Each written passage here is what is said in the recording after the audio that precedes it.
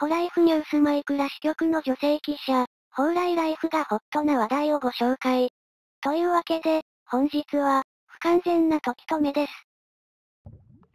さて、時を止める方法は極めて簡単。本と羽ペンを手に持って右クリックするだけ。そうするとこの通り、ビーコンの光の柱の回転や、溶岩から立ち上った黒煙の動きが完全に止まるのです。ただし、これはあくまでも不完全な時止め、溶岩のアニメーションは止められないのでした。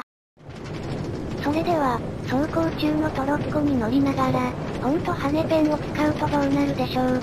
ご覧の通り、トロッコは完全に停止しますが、トロッコの走行音は鳴り続けます。もしかしたら、この不完全な時止めを使って、もっと面白いことができるかもしれませんので、様々なシチュエーションで本と羽ペンを使ってみてください。ホライフニューストピックスでした。